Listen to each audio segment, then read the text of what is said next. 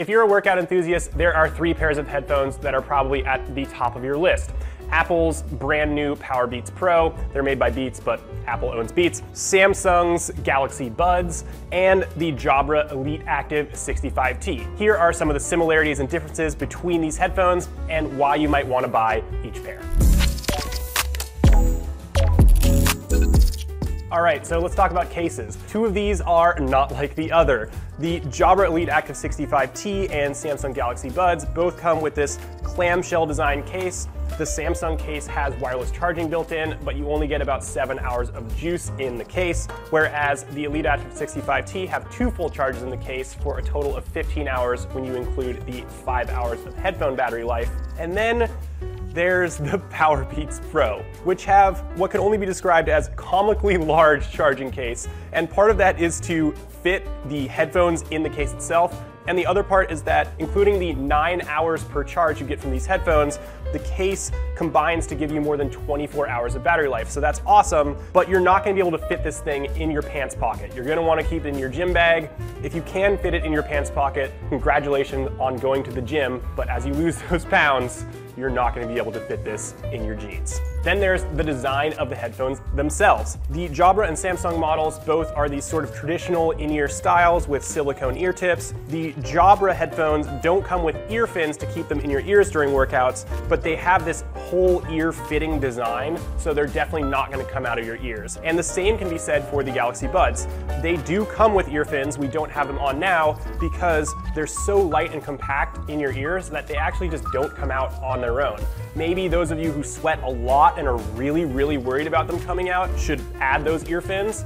But you know, in the majority of listening situations, we found that they stay in your ears just fine. And then once again, we get to the Powerbeats Pro, which have a significantly larger footprint in your ear. They have these hooks to make sure that they stay really secure over your ears. Though they're a bit larger than their competitors, they are very, very secure during workouts. So if you're someone that's really worried about losing an earbud, these are maybe the way to go. So controls, it's a really important thing when you're working out that you don't have to pull out your phone and mess with it to adjust volume or change songs. And all three of these headphones have great options there. The Jabra go with physical buttons. There's a button to access your voice assistant and then volume up and down buttons. The Samsungs are a little bit more customizable and a little bit more modern. They have touch controls on the outside of each earphone and you can customize them to make the touch controls do whatever you want, as well as to access your voice assistant so you can ask for whatever you want while you're on a jog or doing your workout. The Powerbeats Pro have the best of all worlds, which is to say that each headphone features a volume rocker, something we absolutely love. They have a multifunction play pause button on the outside of each earphone, and you can also just say, hey Siri, if you're connected to an iPhone,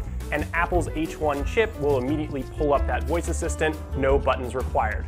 I already touched on battery life a little bit, but the ranking goes something like this, one, two, three. These have nine hours of battery life, and that's really made possible by the fact that they're so large. The Galaxy Buds boast six hours, which is still quite good, especially for headphones this compact, and the Elite Active 65T have five hours, which is still reasonable and definitely longer than the majority of workouts you'll be doing.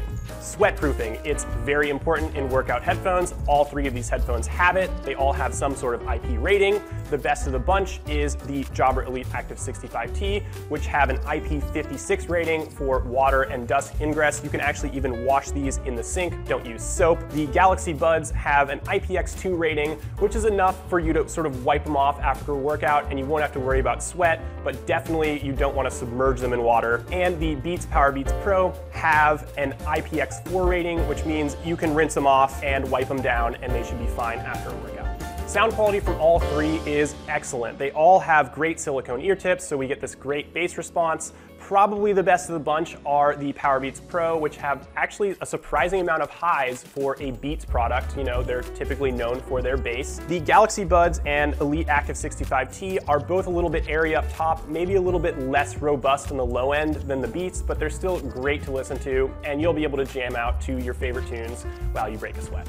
All right, so what are you gonna spend for a pair of these headphones? Well, the most you'll spend is 250 bucks. That's what the Beats PowerBeats Pro cost. And you know, that's a little bit on the high end for true wireless headphones, but these do have a lot of features and great battery life to back it up. The cheapest you'll spend is 129 bucks. That's what the Galaxy Buds go for. You're sacrificing a little bit of extra sweat proofing and maybe a little bit of fidelity, but they absolutely work and they're a great pair of headphones to work out in. And the middle of the road are the Jabra Elite 65 which retail for 190 bucks, although we frequently see them on sale for the 160 to 180 dollar region. So which ones would I buy? Well, unfortunately, during our testing period, we had some connection woes with the Beats Power Beats Pro, so for now, I'm gonna have to discount them until we encounter a pair that doesn't have those problems. So if I'm choosing between the Jabra Elite Active 65T and the Samsung Galaxy Buds, it all depends on how hard I think I'm gonna be on my headphones. If I am gonna be sweating and running marathons and doing crazy stuff all the time in my headphones,